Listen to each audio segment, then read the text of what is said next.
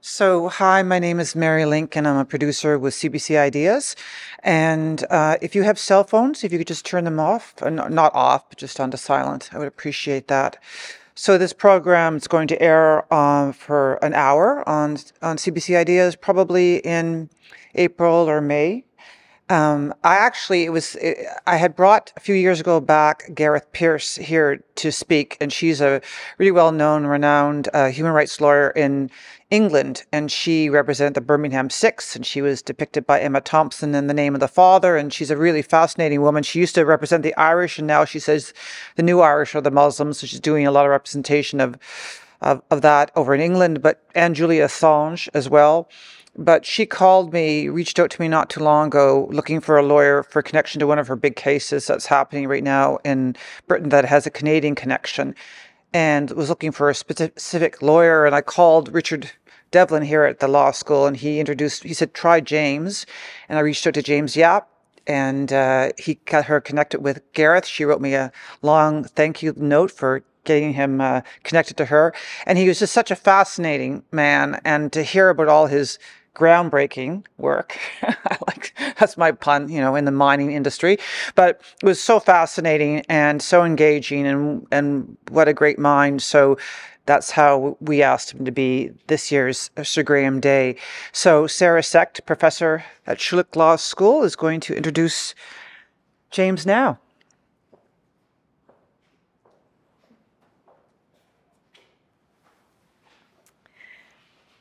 Good evening, everyone, and welcome to the 2023 Sir Graham Day Lecture in Ethics, Morality, and the Law.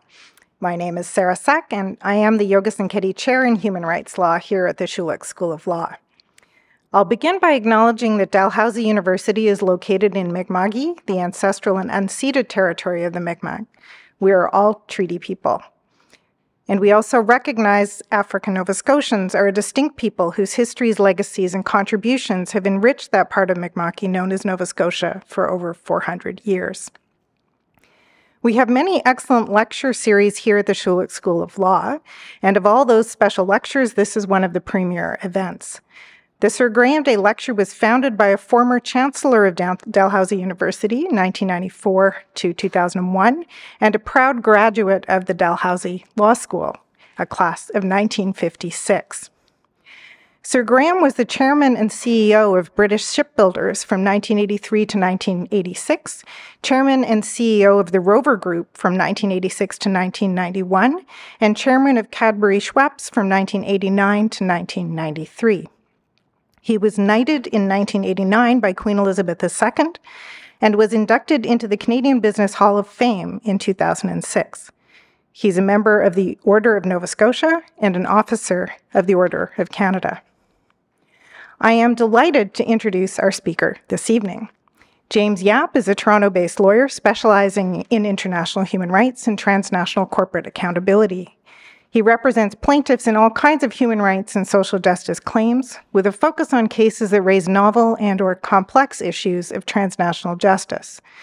In the course of his work, he has acted as a plaintiff's counsel in some of the key Canadian precedents on this topic, such as Nevsun Resources and Araya and Tucson and Canada. He's advised numerous NGOs and international organizations, including Amnesty International, FIFA, Earth Rights International, the American Bar Association, the Justice and Corporate Accountability Project, and Above Ground. And he has presented at various venues in Canada and around the world, including Harvard University, the Université de Montréal, the United Nations, and even the House of Lords. And James has published several scholarly articles on topics relating to international human rights and transnational corporate accountability, some of which I definitely have cited myself. He is president of the Canadian Lawyers for International Human Rights and sits on the board of directors of the Canadian Council for International Law. He also teaches international human rights law at Osgoode Hall, Hall Law School at York University. James holds a Juris Doctorate doctor from Osgoode Hall Law School, where he graduated with various class prizes and the silver medal, and a Master of Laws from Yale Law School. After completing his JD, he clerked at the Supreme Court of Canada for Justice Ian Binnie, and James also holds a BSc in Computer Science and Cognitive Science from McGill University. Welcome, James.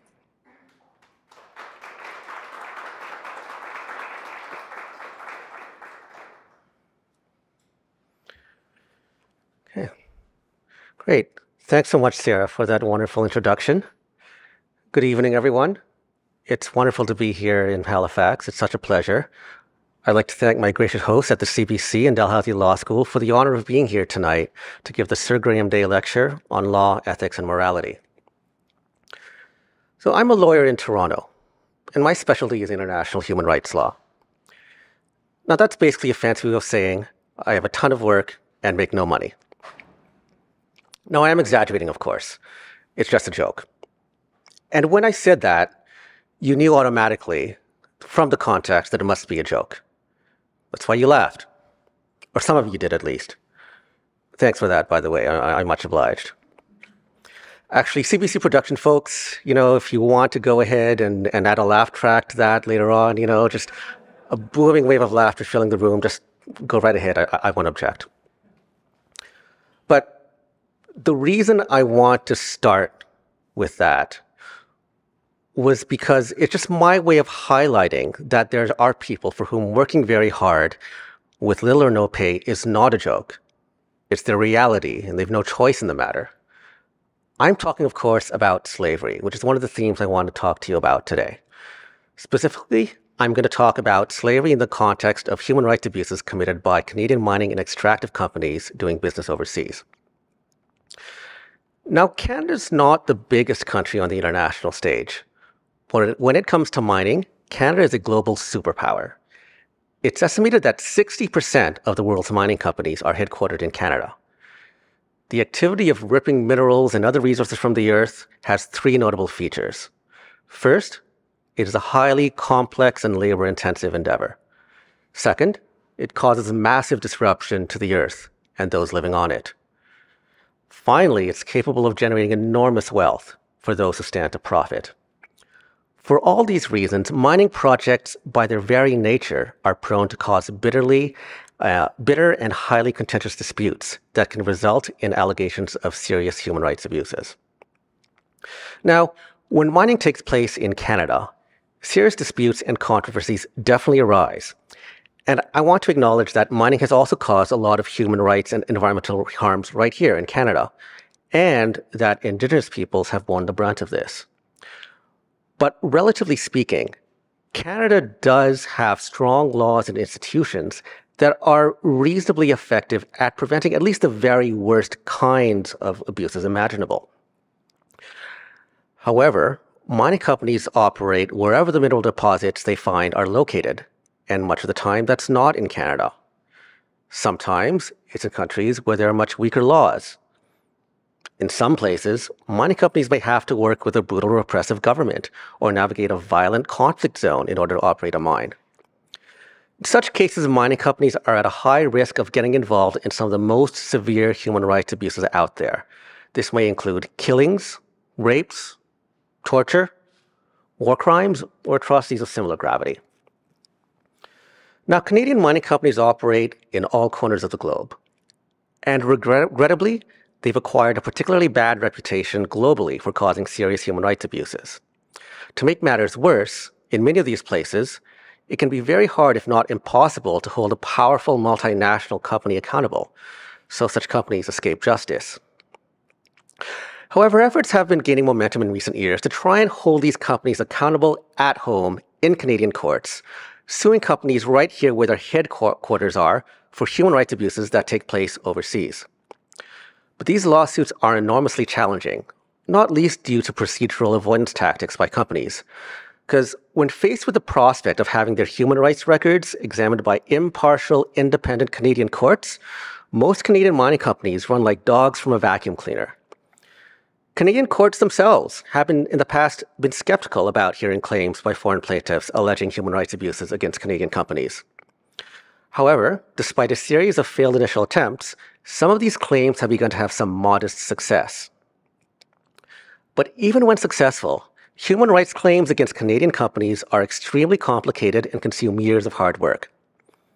I know, because one of them swallowed up a good chunk of my early career as a lawyer.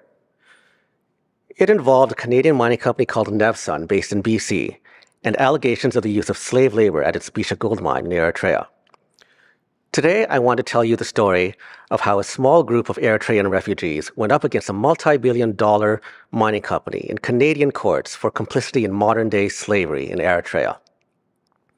I hope it'll be a good story, but I also hope it will illustrate some of the challenges in trying to make sure that Canadian companies respect human rights overseas and when, what can be done about the problem.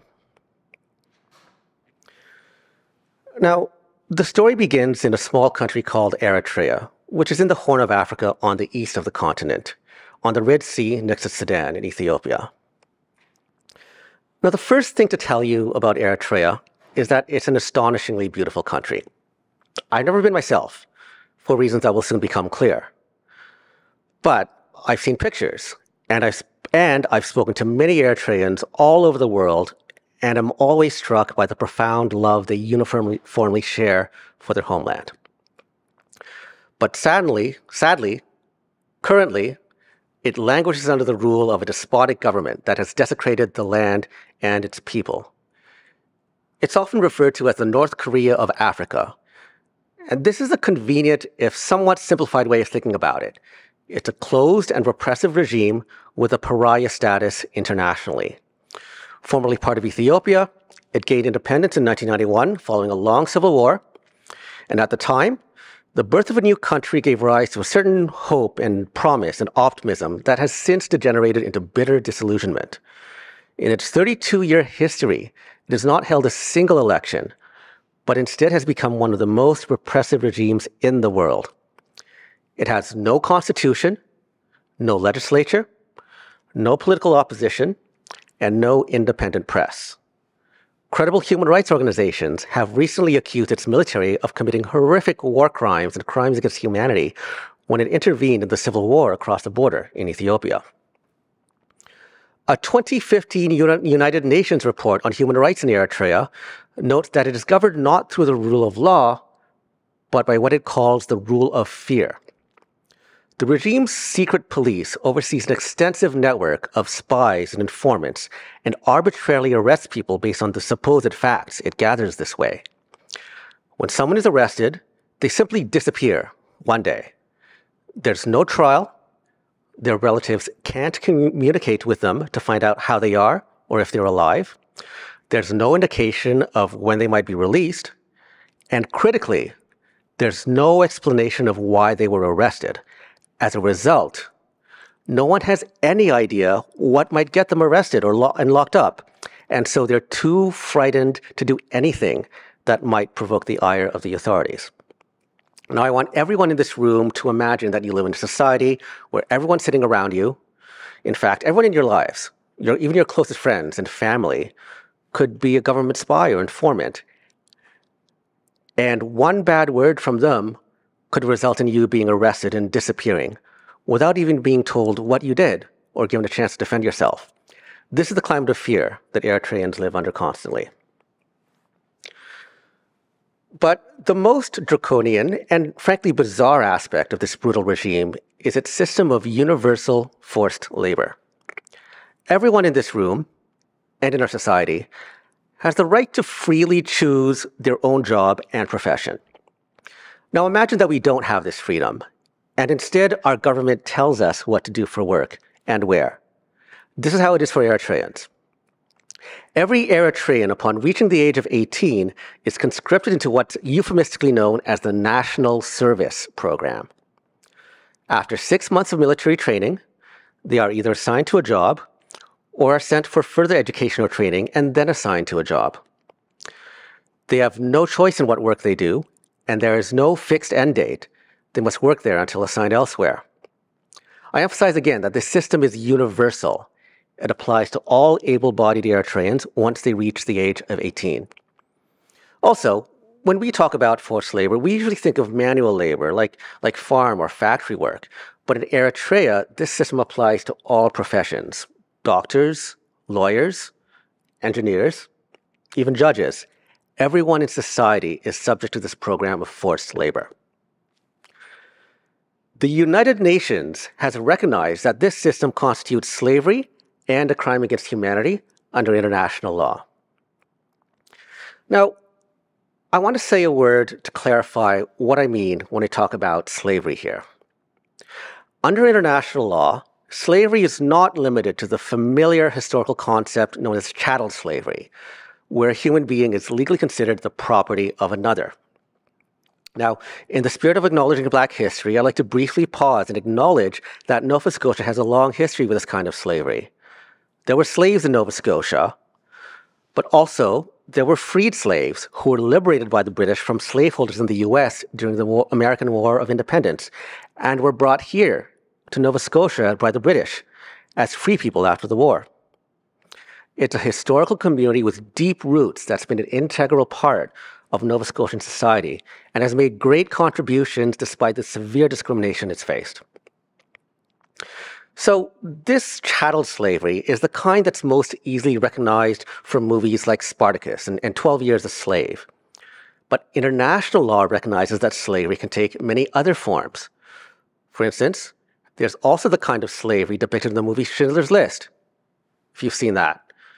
Because during World War II, the Nazis used labor forcibly extracted from Jewish and other workers to bolster military production in factories and advance their war effort. This qualified as slavery under international law. Oskar Schindler owned a factory that produced supplies for the Nazi military. He used Jewish workers who were provided by the Nazis as essentially slave labor, and this is how he was able to ultimately rescue them. Similarly, the Japanese during World War II forced many women into sexual slavery as so called comfort women. This too was considered slavery under international law. And non chattel slavery still exists in many places today. In recent years, for example, there have been major concerns about slavery in places such as fishing vessels in Thailand, cotton from Uzbekistan, and tomatoes and other goods from Xinjiang in China. Even in the United States. Now, it's a common misconception out there, this narrative that the United States abolished slavery with the passage of the 13th Amendment in 1865 after the Civil War. But actually, if you read the text of the 13th Amendment, it abolishes slavery except, except as a punishment for a crime. So if someone is convicted of a crime, it is constitutional for them to be enslaved. So, so slavery is actually still perfectly legal in the United States, and in many states, inmates are indeed forced to work for for profit enterprises under conditions that many argue constitute slavery under international law. So, in summary, the concept of slavery is far broader than just chattel slavery. And in 2016, the United Nations released a report on human rights in Eritrea concluding that Eritrea's national service program constitutes slavery under international law. Okay, so the program also has a couple notable consequences that I want to mention. The first is that Eritreans flee the country in staggering numbers due to the conditions created by the system. To give you an idea, Eritrea has a population of just 6 million people, but according to UN figures, it is the 10th largest refugee source country in the world and 12.4% of the population has fled the country as refugees. That's approximately one in eight. Here in Canada, Eritrea was the top source country for privately sponsored refugees in 2019. The second consequence I want to mention is economic. Turns out, universal slavery is not a successful model for organizing a national economy. Because of this and other disastrous economic policies, the government's finances are in ruinous shape. So desperate is the regime for cash that it extorts money from the Eritrean diaspora overseas. Specifically, it purports to levy a 2% income tax on Eritreans all over the world. In 2013, Canada actually expelled an Eritrean diplomat for this illegal activity. Such desperate measures demonstrate how the brutal and repressive Eritrean regime is struggling for its financial survival.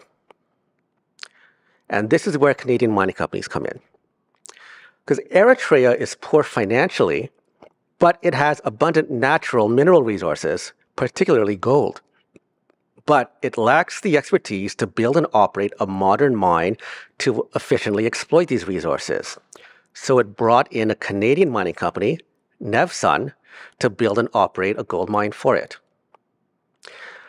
Nevsun's Bisha mine in the Gash Barka region of Eritrea was the first modern mine in the country. Construction began in 2008 and the mine went operational in 2010.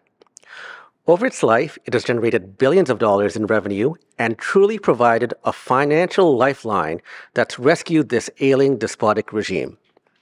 For instance, in 2011, the mine produced 614 million US dollars worth of gold. In the same year, Eritrea's total GDP was 2.6 billion US dollars. So gold from the mine alone accounted for 24% of the entire country's GDP. But apart from merely financing atrocities, there have been allegations that the mine has actually been involved with committing atrocities. In January 2013, Human Rights Watch released a report containing allegations that the Bisha mine had been constructed with the use of slave labor from the Eritrean government's National Service Program. The report alleged that in order to build the mine, Nevsun had hired a state owned construction company called Segen. According to the report, Segen had used a workforce consisting primarily of national service conscripts to do its construction work on the mine between 2008 and 2011. The report cited a number of Eritreans who claimed to have worked at the mine themselves. They claimed that conscripts were forced to work 12 hour days and not allowed to leave the mine site. They described conscripts being underfed and emaciated, with poor housing conditions, too. If they tried to escape, they were arrested and punished. Now, at the time this report came out, I was a young lawyer re- recently returned from studies abroad and looking for adventure. Colleague brought the issue to my attention. I read the report, and it struck me that the use of slave labor is something that a Canadian company should not be involved with in the 21st century. And if the alleg- allegations were true, there really ought to be a way to hold this company accountable in Canada. There certainly was no recourse possible in Eritrea, since it was the Eritrean government itself that supplied the slave, slave labor. So if the company couldn't be held liable in Canada, they'd get away with it. I figured this had to be a compelling, argument in court. But others I spoke to at the time were skeptical. At the time, no Canadian company had ever successfully been held accountable for human rights abuses occurring in other countries. There had been many attempts, but Canadian companies had consistently been able to convince Canadian courts to not even hear the case. Many thought it was just impossible to bring such cases in Canada. Thing is, Canadian courts have a discretion not to hear a lawsuit if there is another country that's clearly more appropriate to hear the dispute. In human rights claims arising from the overseas business activities of Canadian mining companies, many of the plaintiffs and witnesses as well as much of the evidence, are often going to be found in the country where the mine is located. And a lot of the pertinent events occurred there. A defendant company can point to all this and argue that the case should be heard there instead, and a Canadian judge has the discretion to, to, to, rule that the case would indeed be better be heard elsewhere. This is a legal rule known as the doctrine of forum non conveniens, a Latin term and at the time, no transnational human rights claim against a Canadian company had ever survived such a challenge. However, this was a country that's known as the North Korea of Africa. Because Eritrea is such an extremely authoritarian country, I figured it would be hard to convince a Canadian judge that it would be better, a better forum for a human rights claim involving a state sanctioned program of universal slavery. But this fact itself brought other challenges with it. To pursue a lawsuit, you need more than a report about slave labor in your hand. First of all, there needs to be a plaintiff who's been directly affected by the wrongful act. Then you need to show up in court with things like witnesses and evidence to prove the facts you're alleging. For this case, all these things were most likely to be, fo- be found in Eritrea. But because it's such a closed and repressive country, it would be impossible to actually visit and talk to people and gather the needed information about what happened at the mine. So, how can you start a lawsuit if you can't even access the country where the alleged injury occurred? Well, as I said earlier, roughly one in eight Eritreans have fled and live outside the country as refugees. That's over half a million people. So it stood to reason that a good number of these half a million people must know something about the use of forced labor at this Canadian owned mine and be willing to talk about it. So my colleagues and I decided to take the novel approach of attempting a lawsuit working entirely with plaintiffs and witnesses living outside Eritrea. It all began in Ethiopia, where in 2013 I first met the men who would become our lead plaintiffs. Their names are Gize, Mehertaab, and Kesete, and this is their story. At the time I met them, they were living in refugee camps in northern Ethiopia, near the border with Eritrea. To meet them, I flew from Toronto to Addis Ababa, the capital of Ethiopia, where an amazing and dedicated London based Eritrean human rights activist named Elsa Chyrum met me at the airport. Elsa had arranged in advance for the men to come down from the refugee camp to Addis so that we could meet them there. They told us that they had been conscripted into the national service as youths and forced to work at various jobs around the country for a decade or more before being assigned to work at the Bisha mine. They said that the Bisha mine was their toughest assignment yet. They described how they were forced to work six 12 hour days a week, plus one half day, doing hard manual labor in the burning desert sun, in hot temperatures up to 47 degrees. They described being transported to work in the back of dump trucks. They would receive one 80 gram piece of bread for breakfast and two more with some lentil soup for each of lunch and dinner. If they or their fellow laborers were caught trying to run away or committed other acts of perceived insolence or disobedience, the punishments they described were horrific. One, called helicopter, involved being tied by the hands and feet and being left in the hot sun with skin exposed for a day or more. Another involved being made to roll in the hot sand while being beaten with sticks. They laughed bitterly when I remarked to them that where I come from, you would go to prison for treating a dog the same way. Now, it was very upsetting for me to hear these stories. And I can only imagine how much more upsetting it was for these men to tell them and relive these experiences. At one point, Elsa suggested we take a break because I was visibly shaken. I remember having two thoughts. The first was that I'd worked with refugees and heard people tell me similar, similarly awful personal stories before. But unlike those times, these stories had a connection to Canada and a Canadian actor. I found this disturbing to think about. But my second thought was that, also unlike all those other stories, the Canadian connection here meant that as a Canadian lawyer, there might be something I could do about it. And that thought was more uplifting. I returned home to Canada and discussed with my colleagues. And at this point, I'd like to acknowledge the remarkable team of lawyers that made all this possible, including Dimitri Lascaris, Joe Fiorante, Reidar Mogerman, Jennifer Winstanley, and many others who joined the team later. We filed a lawsuit against Nevsun on behalf of the plaintiffs in November 2014 in Vancouver, where the company was based. In the lawsuit, we claimed that Nevsun was civilly liable to the plaintiffs for complicity in violations of international law rules that prohibit slavery, torture, forced labor, and crimes against humanity.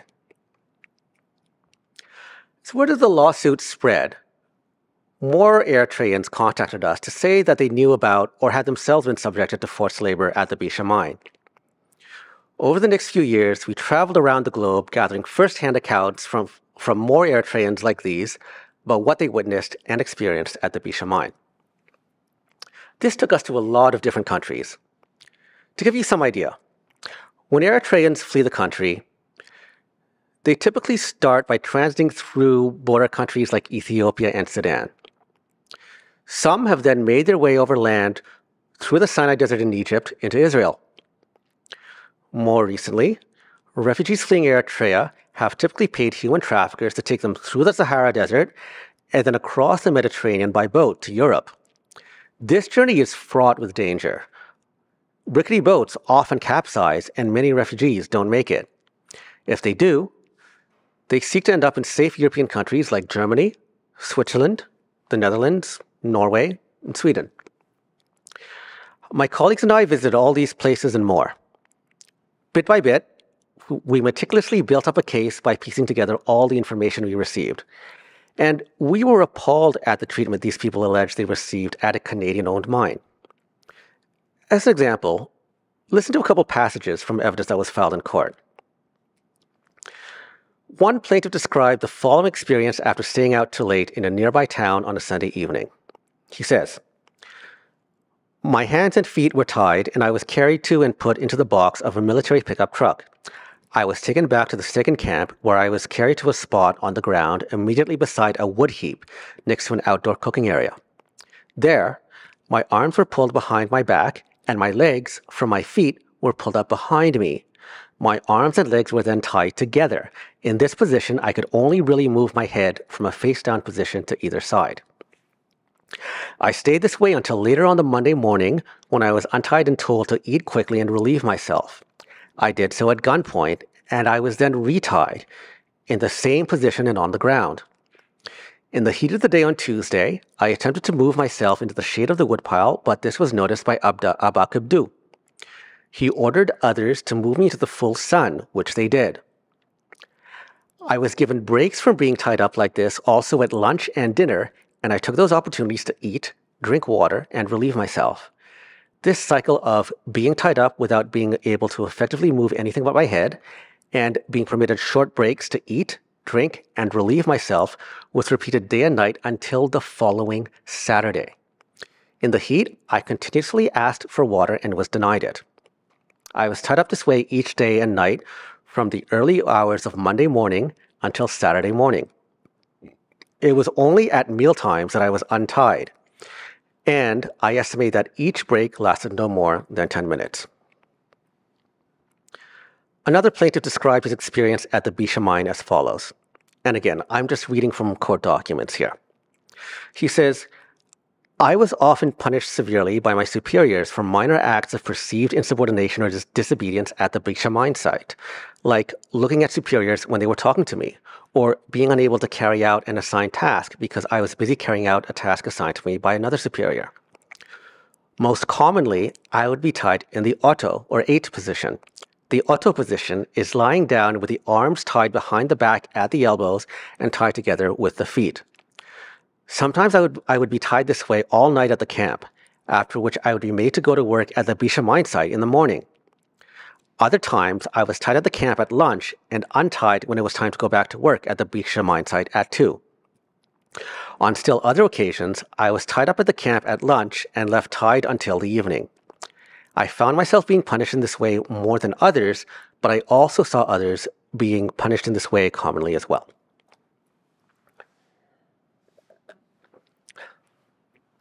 So it's appalling to think stories such as these could happen under the direction of a Canadian company. And they're stories that cry out for justice. But Nevsun responded to this lawsuit with a strategy that can be summarized in two words deny and avoid. First, Nevsun denied everything. They initially denied that the plaintiffs were subjected to forced labor at the Bisha mine they denied that forced labor was used at the mine at all. They denied that the plaintiffs were even ever at the mine.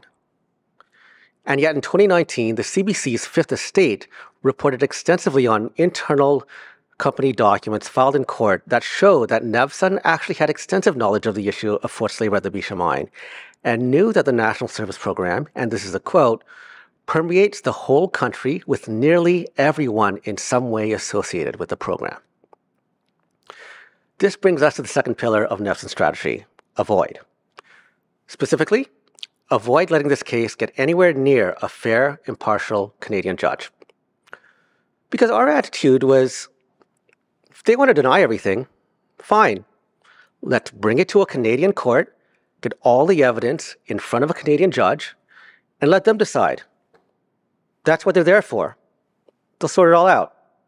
We were asking for nothing more than a fair trial and we figured we'd get one in a Canadian court. But Nevsun wanted no part of this and fought vigorously to keep this case from getting to trial in a Canadian court. First, they argued that the BC court should dismiss the case and send it to Eritrea for the courts there to decide the forum non conveniens principle I mentioned earlier. but the plaintiffs were recognized refugees, which meant that they had fled Eritrea and could not return for fear of detention, torture, or worse. Nevsun was essentially arguing that they should risk their lives and return to Eritrea, show up in a courtroom, and ask an Eritrean judge to rule that the government's national service program is a form of slavery, as if all that's needed to bring an end to the regime's repressive practices is for someone to show up in a court and challenge them. In response to this argument, we gathered evidence from former Eritrean judges who had escaped the country and were living as refugees in various places around the world. They gave the opinion that Eritrean courts are not fair and impartial, but are essentially controlled by the government. They recounted how they and their colleagues could be subjected to detention, torture, or worse if they defied the government. They noted that some judges in Eritrea are even part of the National Service Program and are forced labor conscripts themselves.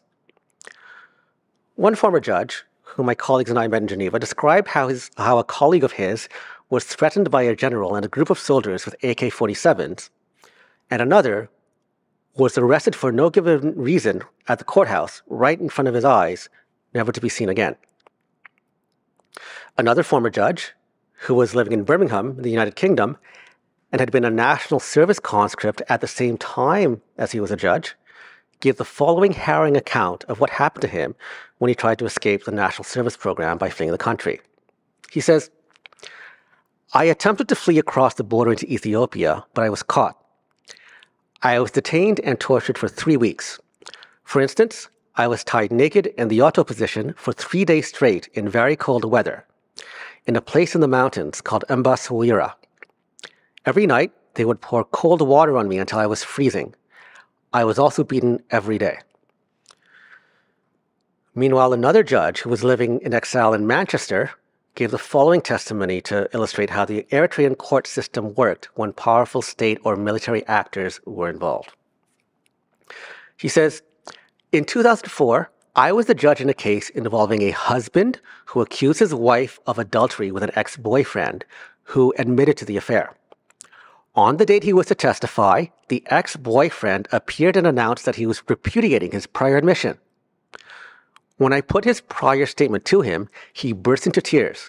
He took his clothes off, revealing very severe injuries on his back, and explained that the wife was a relative of Major General Teklai Haile He explained that Major General Haile had ordered him arrested and tortured because he had given testimony about the affair. This was a difficult experience for me as I realized this was a very serious situation. I knew my duty as a judge was to order the alleged perpetrators of the torture arrested and investigated. However, I could not do this because I feared greatly for my life if I did so. Therefore, I adjourned the hearing and set a new hearing date very far in the future, hoping that the ex boyfriend would flee the country in the meantime, or that something similar would happen to make the case just disappear. I do not know what ultimately happened to the case, but I never had to deal with it again. So, presented with all these accounts and more, the court in BC rejected Nevsun's argument that the case should be dismissed and referred to Eritrean courts. Nevsun filed an appeal of this decision that was also rejected. But then, Nevsun further argued that even if Eritrea was not a suitable alternative forum, the BC court should still not hear the case anyway.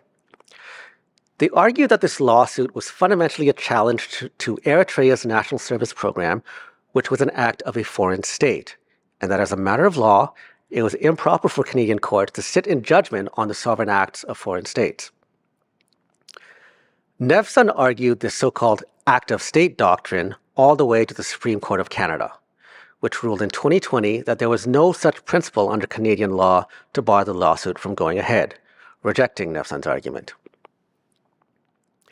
Finally, Nevsun argued that you cannot have civil liability for violations of international law in Canadian courts. They claim that Canadian courts cannot apply rules from international law to create civil liability under domestic Canadian law.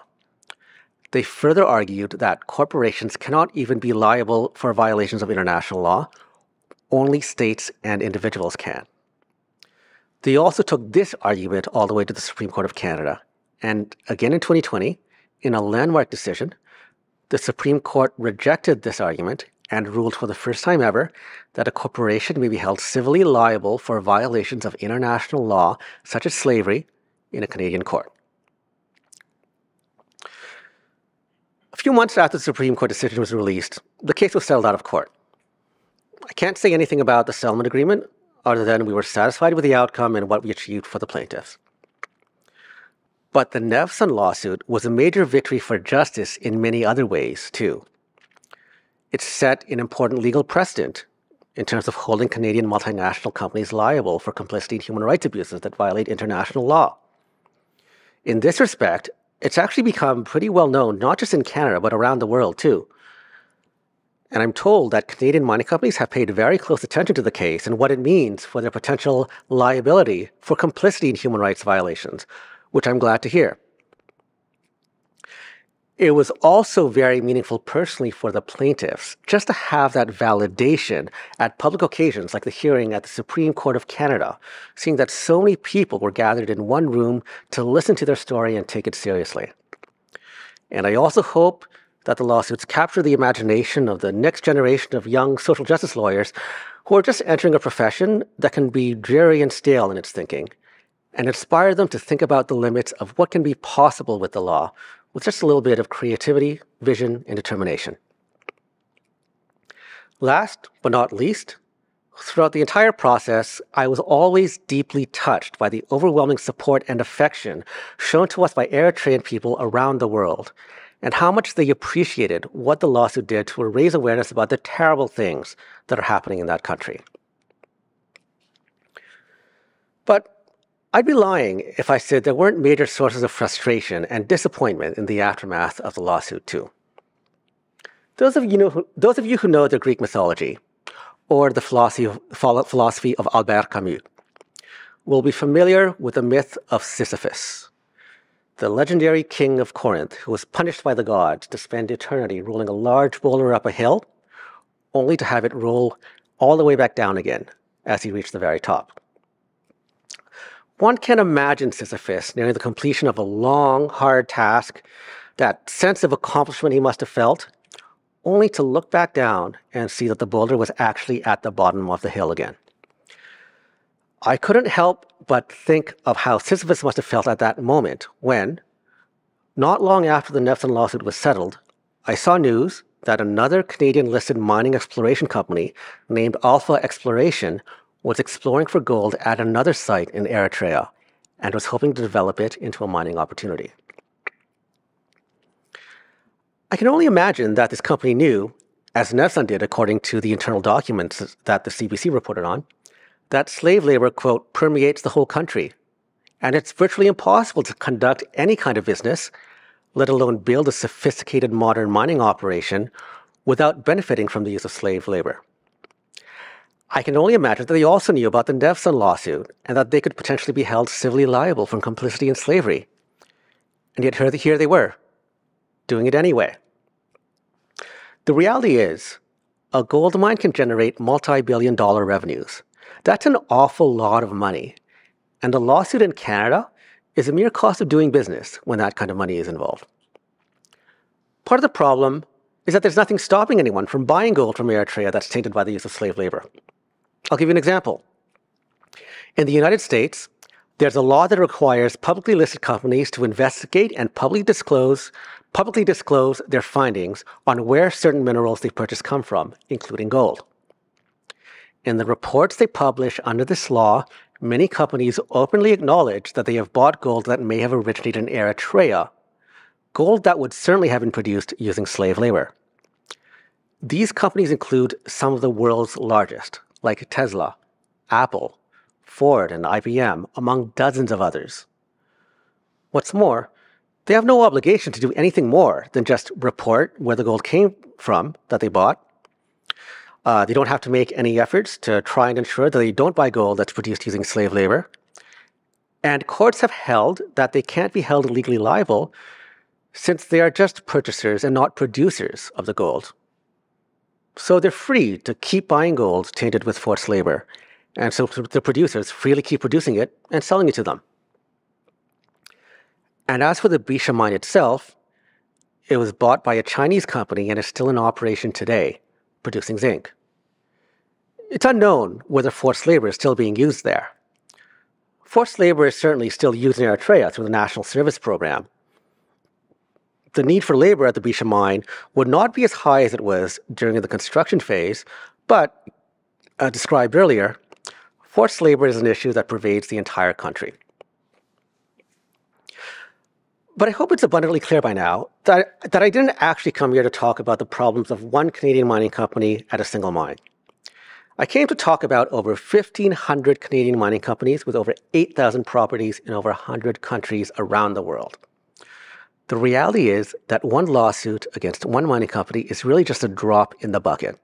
There are Canadian mining companies operating in all corners of the globe, and in a lot of these places, there is a very high risk of becoming complicit in serious human rights abuses.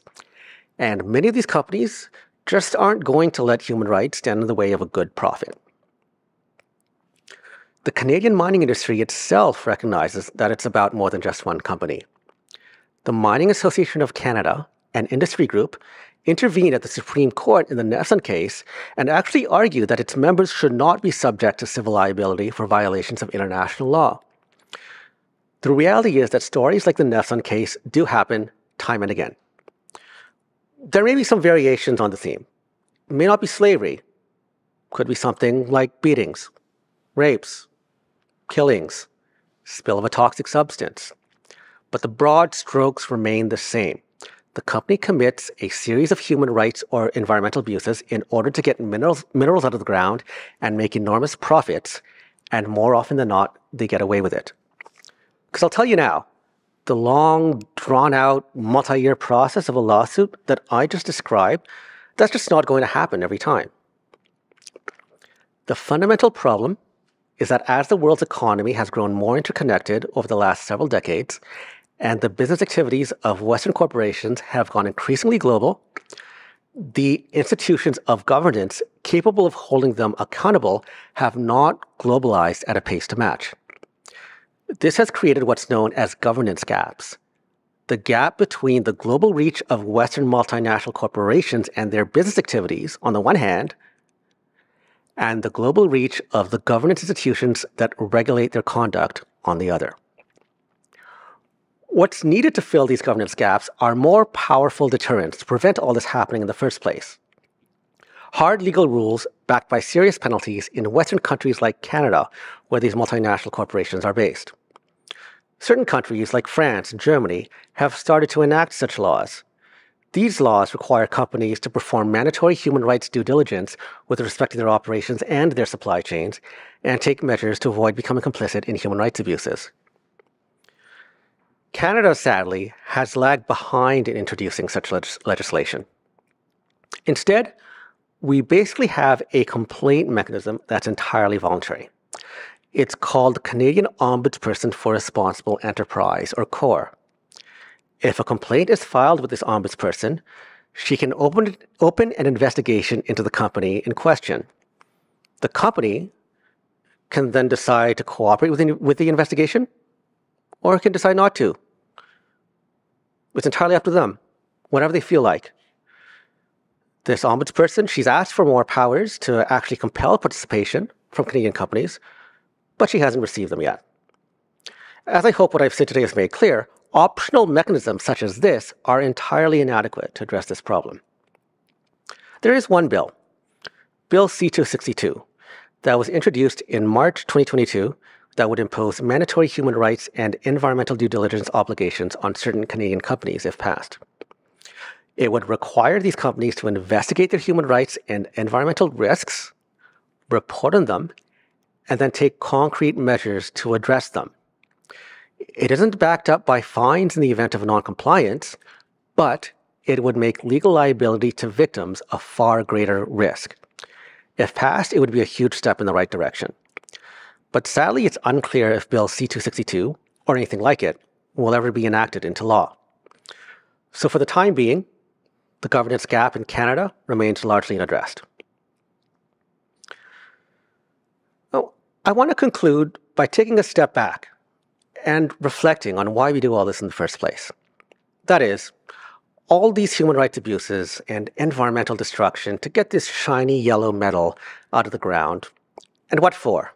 What's the purpose of all this? Well, roughly about 50% of gold production is used to make jewelry that we adorn ourselves with. Another roughly 40% is used for financial purposes. So it's formed into these bars and then goes right back into the ground in subterranean vaults. So the vast majority of gold is used to either display wealth or to store it. I want, I want to read you a 2011 quote from Warren Buffett, the world's most famous investor. He says, If you took all the gold in the world, it would roughly make a cube 67 feet on the side. Now, for that same cube of gold, it would be worth at today's market prices about $7 trillion. Remember, he's talking 2011. That's probably about a third of the value of all the stocks in the United States. For $7 trillion, you could have all the farmland in the United States, you could have about seven Exxon Mobils, and then you could have a trillion dollars of walking around money. And if you offered me the choice of looking at some 67 foot cube of gold and looking at it all day, call me crazy, but I'll take the farmland and the Exxon Mobils.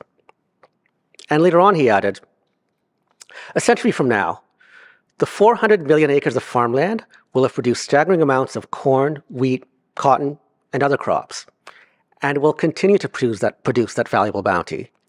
The 170,000 tons of gold will be unchanged in size and still incapable of producing anything. I think it's striking to ask what benefit we get in exchange for all the human rights and environmental harms that gold mining has wrought. For instance, gold mining emits more greenhouse gases annually than all the flights between European nations combined, and also accounts for 38% of global mercury emissions. At an exchange, we get a metal that mostly, mostly just sits around and doesn't do anything. Now, I'll acknowledge gold actually does have some tremendously useful practical applications, but for these purposes, we could use the gold we already have, sitting in vaults in the ground or around our necks, wrists, or fingers.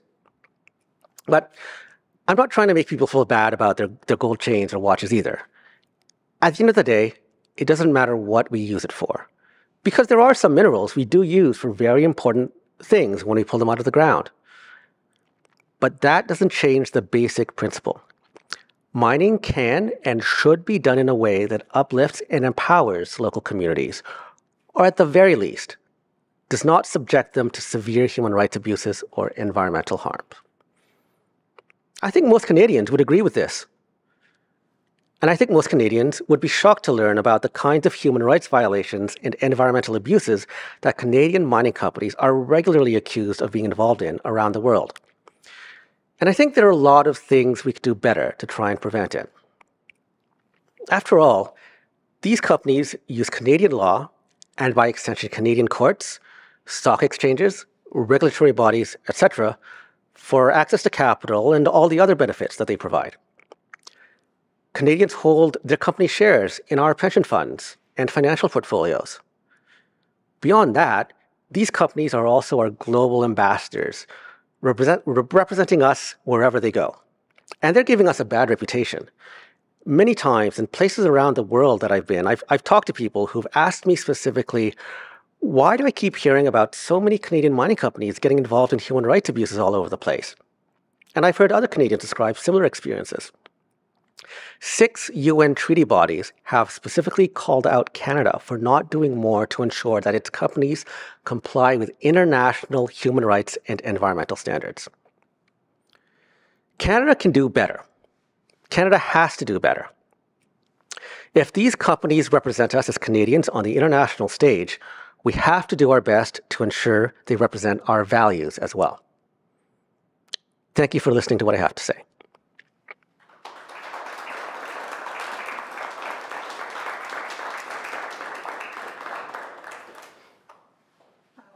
You, you want to stand there, probably it's easier. Okay. Uh, I'll just there for a second. So if anyone wants to ask a question and maybe be on ideas, um, uh, you can come up here and just say your name and, and ask a question. That'd be great.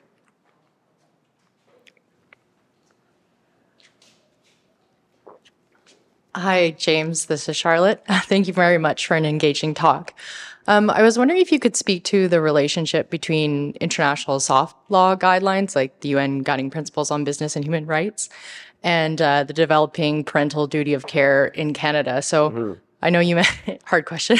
I know you mentioned uh, that uh, there's mandatory due diligence legislation on the books, but in the interim, I'm wondering how those voluntary yeah. guidelines could inform the duty of care and the standard of care. Thank you. Yeah, sure. Thanks, Charlotte. And so, for by way of background, who are a bit less familiar with uh, this field, uh, there are a, a, set of international guidelines and principles uh, which are not binding. They're what's known as soft law, but they're guidelines that are meant to set out some of the international standards of conduct for companies, Canadian or otherwise, when doing business anywhere in the world. Um, the most famous one are, are, are called the UN Guiding Principles, but there's also others like the OECD guidelines. And as I said, these are what's called soft law, so they're not binding. Uh, they're not, they can't be, the, the compliance with these can't be enforced. But what we've, so, so the, as of right now, they haven't necessarily gained a lot of um, traction in courts around the world. But you, what you might see is, and what you, I think you're beginning to see is a phenomenon where these soft law guidelines and principles and standards are beginning, begin, beginning to harden into principles that are applied when courts evaluate the conduct of Canadian companies according to the standards of what a reasonable company ought to have done. So we're not there in Canada yet. As I said, so this this this seven year process I just described, this lawsuit, um, that was just to get to the point where the Canadian court said, okay, you can go ahead with the lawsuit now. We'll hear this, right? We didn't actually get to the point where we, where we actually got the evidence in front of the Canadian court and we started presenting our arguments about what happened and who was responsible for it. But uh, the case settled before that point. But in the future, if and when a case does get to the point where a court is uh, tasked with deciding whether or not the company met a reasonable standard of diligence in trying to prevent these human rights harms, they may very well look at these international standards and guidelines that for now are not binding and are soft law, and they may harden into actual law in that sense. Would anybody else like to ask anything? Okay. Mm.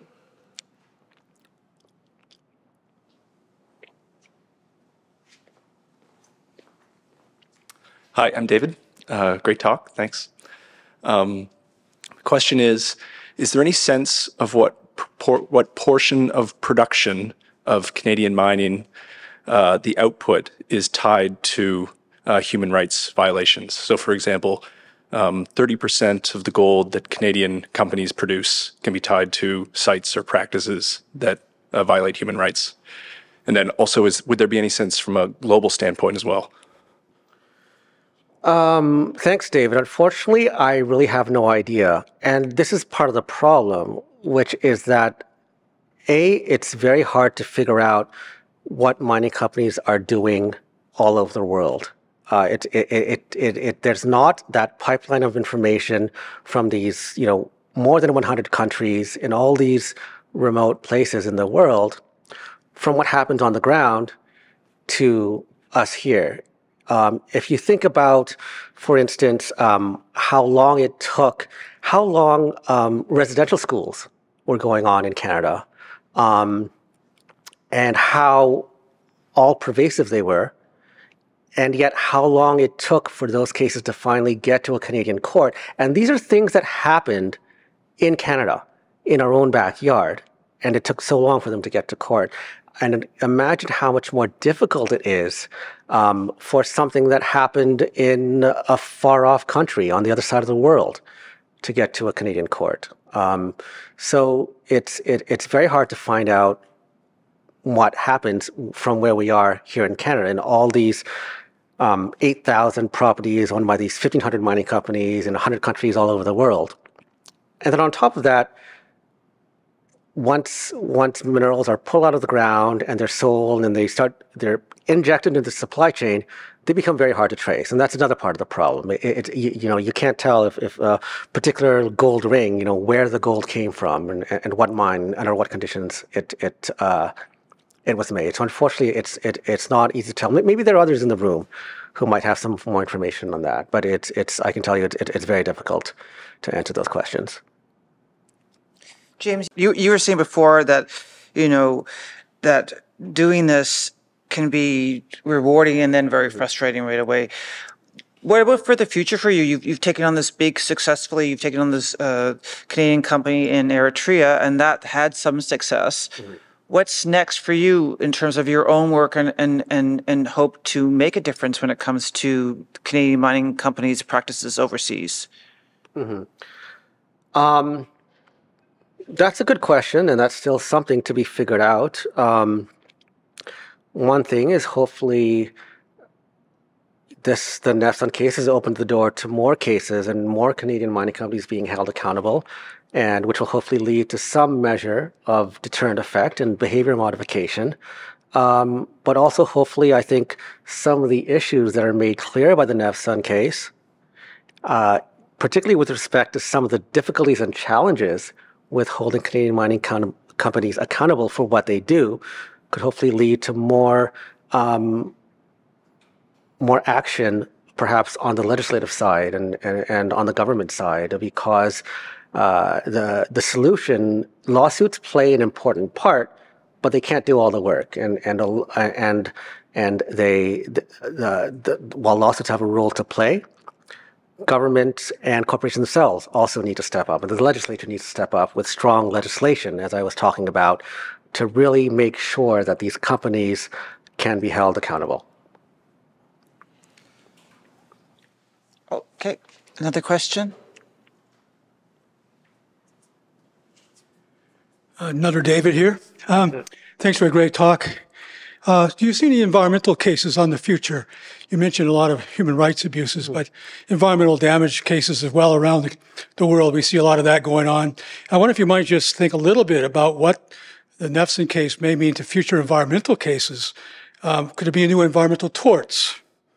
Uh, we have an emerging right to a healthy, clean environment from General Assembly recently. Mm-hmm. Uh, what are the implications of that in light of Nevsun? So if you thought about that in the future of environmental law, you might say, based on international law and norms coming into yeah. domestic law. Thank you. Yeah. Yeah, so that's an interesting question. Thanks, David. Uh, particularly in light of what I said about Nevsun being a landmark decision in terms of the application of international law in domestic Canadian law. Nevsun really represents uh, the idea that actors in Canada can be held liable in domestic courts for uh, violations of international law. And now, interna- now international law can include rules with respect to human rights, or as David pointed out, you know, it, it can include uh, uh, there are a lot of there's a lot of large body of international law, uh, excuse me, relating to the environment. Um, so Nevsun certainly does lead to some intriguing possibilities with respect to environmental lawsuits to try and incorporate uh, rules from international law into arguments in domestic courts. A little, it's a little trickier. Um, part of the difficulty is that a lot of environmental laws don't, a lot of them don't have a clear, identifiable person that the duties are owed to, right? Uh, so, for instance, with the international rule against torture, uh, when it's violated, there is a clear victim whose rights have, whose own rights have been violated, and who has the the capacity to show up in a court and say and assert their own rights. In a lot of environmental rules are a little murkier than that. There, there's there, there's no specific identifiable um, beneficiary of a lot of these rules. Um, at the same time, I know that um, there is a there's a large body of lawsuits around the world right now uh, pertaining to the effects of climate change.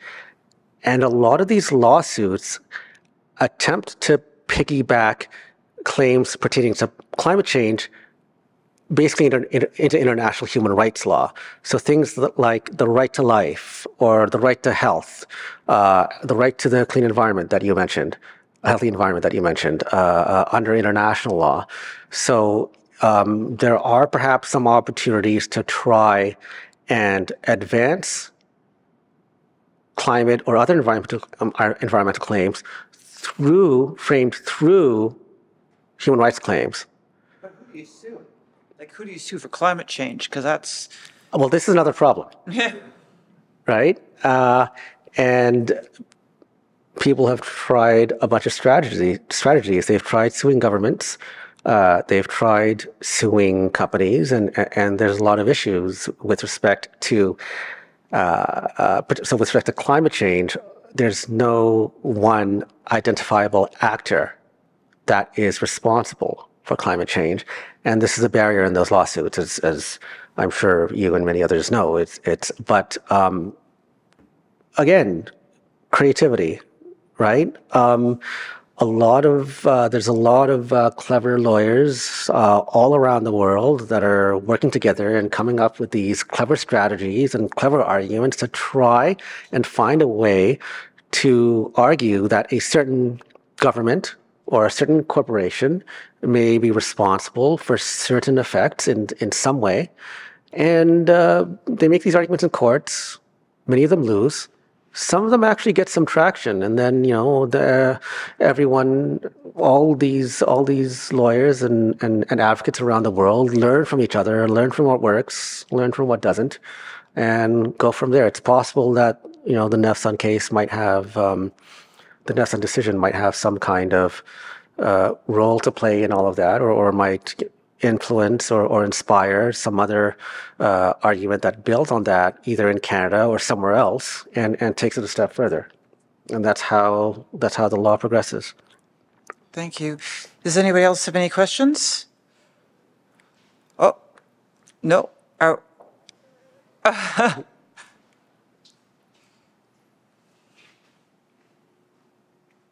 um, Hi, my name is Aga, and thank you for the talk. I just wanted to know uh, to what extent do you think uh, refugee law has offered a, a, recourse for people that have been affected by uh, human rights abuses by mining companies abroad, like Canadian mining companies? And is there anything more in that area that could be done to uh, to offer that kind of recourse? The extent to which refugee law has been a recourse for who again? For those affected by um, uh, mining abu- uh, human rights abuses by mining companies abroad? Okay. Um, that's a good question. Um, refugee law, which is another form of international law, um, has very specific conditions about who and who isn't considered a refugee. And it's this body of law that emerged in response to a very specific, specific situation at a very specific time and place. That was Europe post World War II, and has been developed sort of in response to that particular situation, and, and doesn't necessarily um, fit well. Uh, or, or it's not necessarily a good fit in terms of responding to a lot of the situations, the humanitarian situations that we see today refugee law, for instance, um, typically requires some kind of state persecution uh, in order for one to be qualified as a refugee. So, for instance, um, some kind of generalized violence, like famously some kind of like, you know, um, gang violence, uh, does not qualify as persecution that would make one qualify as a refugee. Uh, this has been a ma- major issue in terms of climate change. Uh, because a lot of uh, climate change has, dis- uh, threat- has displaced and threatens to displace even more people around the world.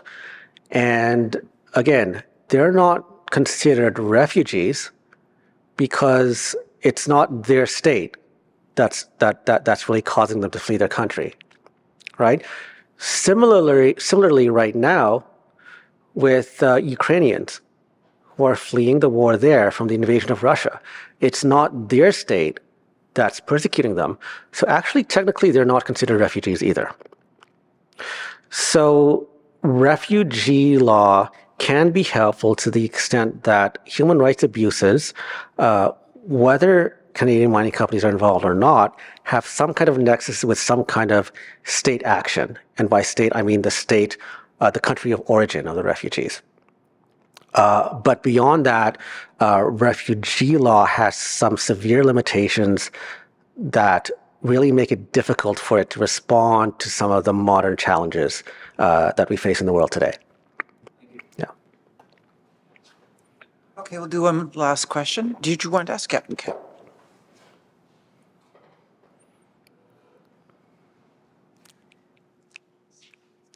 Hi, uh, this is Josh.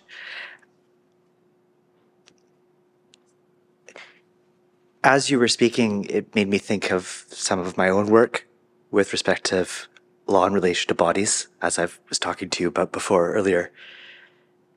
Do you have any sense of how these corporations justify their practices? For example, when I look at early case law in the 17th and 18th century, English courts if they're not saying outright that individuals were slaves, they were saying that the common law in England, having reference to natural justice, could not countenance slavery in their land. But if positive law, human created law in the colonies legalized slavery, that they couldn't do anything about it.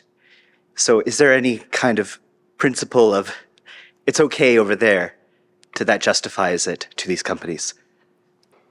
Yeah. Um, that's a really good question. And I think the comparison to the 18th century English cases on slavery is a fascinating one. Uh, first of all, the human capacity for justification is limitless. It really knows no bounds because I don't think these mining executives are sitting in their offices actually thinking, let's go and slave people and we don't care because we'll make a lot of money.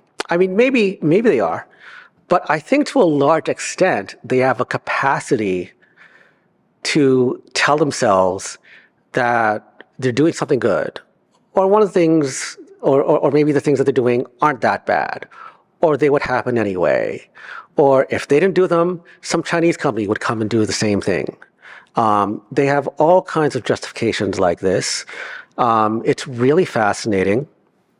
And, and, and, you know, you even see things like, oh, you know, uh, who are we to impose our standards on these countries? This is just neo-colonialism, right? Uh, which happens to align with their enormous uh, pecuniary interests, right? Um, so, so I, I, don't, I don't know if it actually takes the form of, oh, it's okay over there, but but perhaps more the form of something like, well, who are we to judge what they do in other countries?